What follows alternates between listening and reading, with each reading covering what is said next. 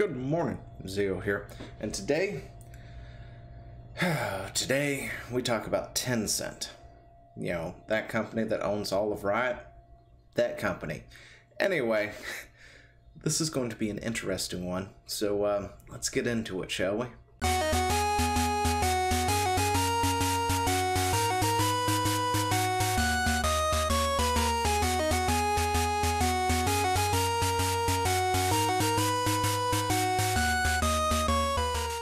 And if you haven't subscribed, go ahead and do so now. Grab yourself some coffee, sit back, relax, and let's talk about Tencent. Um, let's see, you probably already know about the whole TikTok thing, right? And you might actually know about the tic, uh, Tencent thing because uh, our current president has uh, decided to wage war against China. War loosely. Um, we've been raging that war now for a bit as sort of a, a um, commerce financial whatever war. Anyway, aside from what you think about the president and all that good stuff, he is banning some, or he's apparently banning some things through uh, executive order, if I'm getting that correctly, like TikTok, which is an app that's already been banned by our military. So if you're in the military, you're not supposed to be using it. Um, but they're also working on banning Tencent, which owns WeChat. Um, and um, that's that's kind of where it's at, right? Um, apparently, according to the executive order, the gaming branch of Tencent is sort of left unchecked from um, you know, but it's only a matter of time. it's Tencent. You've probably heard me talk about it in the past and several others in the past that, you know, Tencent is in our gaming market. And regardless of whether or not we love or hate Tencent and how they handle things and monetize stuff and other things, this could be a problem in the gaming sector, depending on how things play out. So, you know, if you, you want to look at a possible gaming crash in certain spots, this might be the way to do it. Now, we know that Tencent is a problem. We, we've always known that Tencent and the Chinese government, of course, is somewhat of a problem. Um, you know, uh, anyway, but this kind of thing, when, when you got a company that is so entrenched in a lot of stuff, cutting it outright is not the best way to do it. Um, you, you, just can't do that without causing a lot of major issues. But the United States is using national security as an excuse and using state power to oppress non American businesses, ministry uh, spokesman Wang Wenbu, Wenbin said during a press briefing, um, accusing the United States of political manipulation and oppression. Okay, I think I've highlighted the wrong thing. anyway, um, that that was apparently them talking about us. But the Chinese Ministry of Foreign Affairs on Friday said it firmly opposes the executive orders targeting WeChat and TikTok because I can't highlight things properly. Then that statement happened from uh, Wang uh, Wenbin. Wenbin? Is it Wenbin? I'm saying Wenbin. Anyway, uh, during a press release, uh, TikTok said it was shocked by Trump's order and warned that it sets a dangerous precedent for the concept of free expression and open markets. The company said it will pursue all remedies available to us. Which is a funny thing to think about. By the way, if you haven't noticed or don't know, Facebook is looking to scoop up TikTok now. Um, yeah, you want to talk about a company that is totally against the free market or the open markets and free expression, there's your company to go deep diving into Facebook, um, Google, YouTube, Twitter. Uh, also are you know fairly prevalent of all of that. Um, they definitely are against the free expression and open markets kind of thing because they will shut down just about anything that could even hint take out from them or take from them what they currently have. But uh, a Tencent spokes, uh, spokesperson, meanwhile, said the company is reviewing the executive order to get a full understanding, which, yeah, obviously they, they're going to. But uh, let's let's break some things down real quick. You got the Chinese, um, the Chinese, right? The uh, what is it? The CPP, uh, the Communist, uh, whatever party. Um, anyway, or the CCP, Chinese Communist Party. I, I can't think right now. When it comes to the Chinese, they have a hand in literally everything. You cannot do business over in Chinese markets without having a sponsorship essentially through a you know another company that is in the country and then you know the um, uh, the Chinese you know governing party is allowed to access anything because over there you don't own what you own no um, the Chinese Communist Party owns what you have. Uh, so if you have a business like Tencent and they go hey Tencent we want to see what you got they can do that or they shut you down immediately. No if ands or buts about it so they have to comply. There is no sense of freedom or free freedom of expression for that matter over in china regardless of how you think about it. That's why a lot of people like myself were so upset at the whole blitzchung incident with uh, blizzard because they knee jerked shutting him down and they still still should not have banned him at all. Should reverse that 100% um, you know, because they're trying to do business in China and they can't anger the Chinese overlords. Um, so when you get somebody saying free, you know, freedom for Hong Kong or whatever, who happens to be a Hong Kong player or a player over in that area of the world, naturally Blizzard is going to shut that down real quick. Yeah, there's another company real quick right there, Blizzard working with Tencent.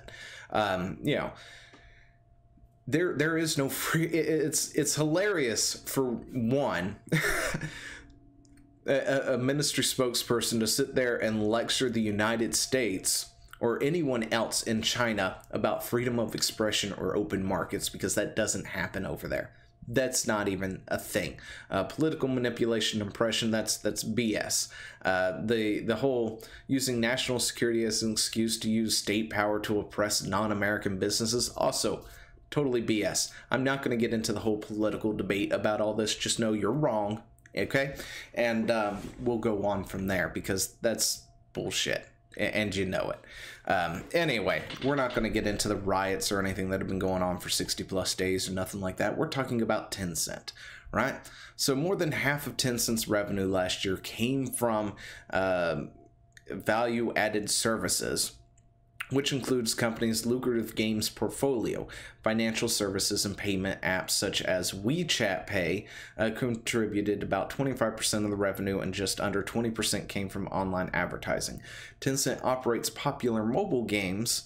Uh, gaming apps such as Player Unknown's Battleground and PUBG, US based players spend a lot of money in PUBG. Well, that's true too. But um, let's just take a look at Tencent and what they do have here. Um, because apparently I, I can't get this fully over. So we're going to do this real quick. Boom, there we go. Or that's about as good as it gets. I'm so sorry. Anyway, they're the full ownerships of Riot Games. They're the ones who do Valorant and League of Legends, of course. Full ownership of Norwegian publishers Funcom uh, full ownership of Swedish developers Sharkmob, founded in 2017 by ex Ubisoft developer, and fully acquainted by Tencent in two, or acquired by Tencent in 2019. 80% ownership in the New Zealand uh, company Grinding Game, Gear Games, the developers of Path of Exile.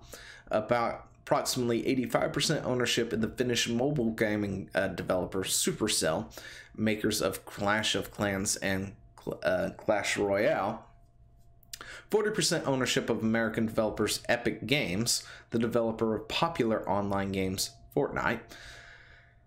Let's see, 20% ownership of the Japanese publisher and developer Marvelous, which owns Gmod and the majority of Data East um, inte- intellectual properties, including uh, Burger Time, Joe and Mac, and uh, Magic Drop franchises. 8.6% ownership of the Chinese company iDream, Ski, iDream Sky, which mainly develops and uh, pushes mobile games for the Chinese market. 5% ownership of Chinese company Central uh, Hutong, which operates game development by Fun Plus. Tencent became a shareholder through an investment into Century uh, Hutong's uh, subsidiary Shengqu Games. 17.66% ownership of South Korean mobile developer uh, Net, Netmobile, Netmarble, Anyway, I can't read. Approximately 15% ownership of American mobile game developer Glu Mobile, 13.58 or 54% ownership of South Korean Kakao, um, Cow Kakao. Anyway, the parent company of South Korean publisher Kakao Games, uh, 9% ownership of UK developer uh, Frontier Developments, 5% ownership American holding company Activision Blizzard, the uh, parent company of Activision, Blizzard, and King. Uh, 5% ownership of Swedish published developer Paradox Entertainment. That should be a name you know. Um, some of the, uh, several of these are probably games you, or names you know. Anyway, 5% ownership in French Ubisoft purchases, and uh, Venividi follow um, Venividi's uh, failed attempt to buy out Ubisoft in March 2018.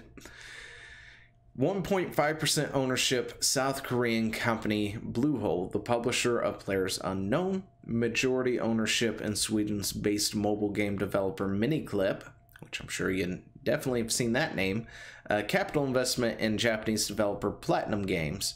Minority share in German developer Jaeger Development. And Tencent has a lot of other hands in other places as well, from TV, music, comics, video streamings, e commerce, utilities, and other stuff. And this is just the gaming things and not including social media and other things. If you want to go look at the wiki or whatnot, you should go do it. It's it's there's a lot there.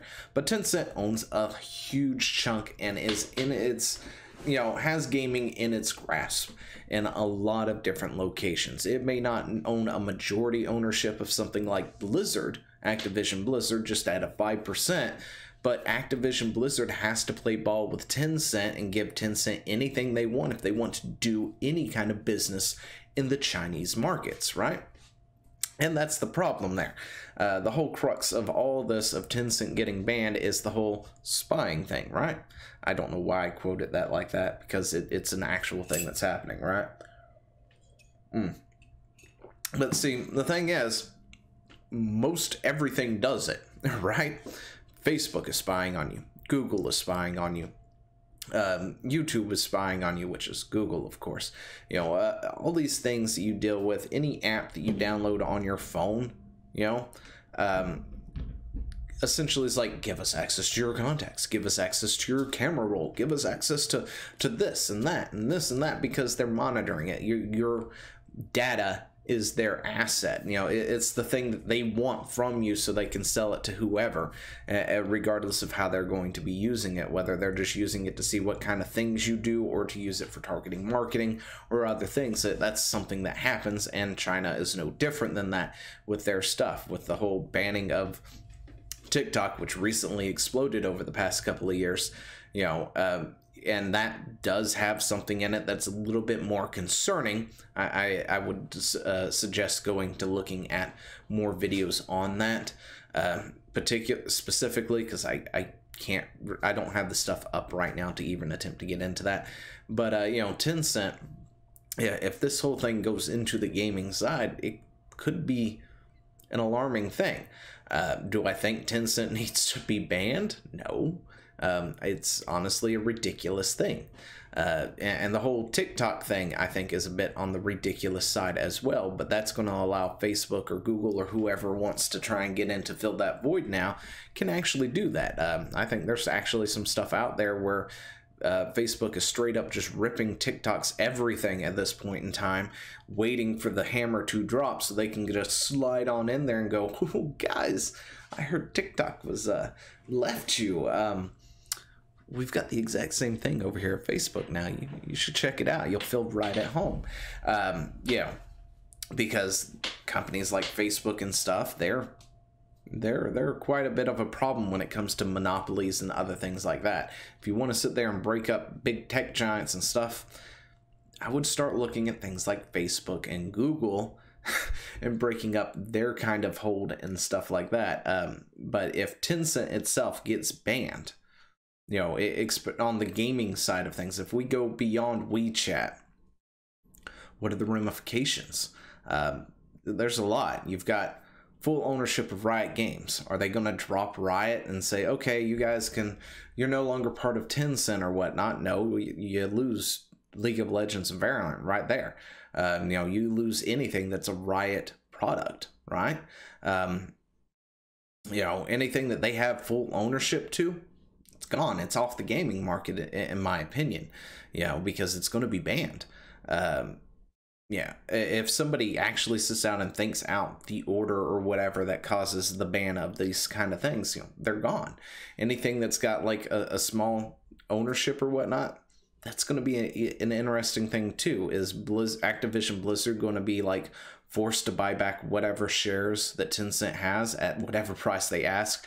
because they now have to because China has been 100% banned from doing any kind of commerce with anything that's outside of China that's an interesting thing to look at. Um, you know, could they afford to do that? I don't know. Um, you know, what's that going to look like? That's also going to kick these companies out of China as well, which is something they don't want. So you guarantee they're going to be lobbying for a better result on that front to get left alone. Uh, you know, we could lose Path of Exile uh, because they own a huge chunk of grinding gear. Um, you know, and anything that's Supercell related, that probably will wind up getting banned off the app markets as well.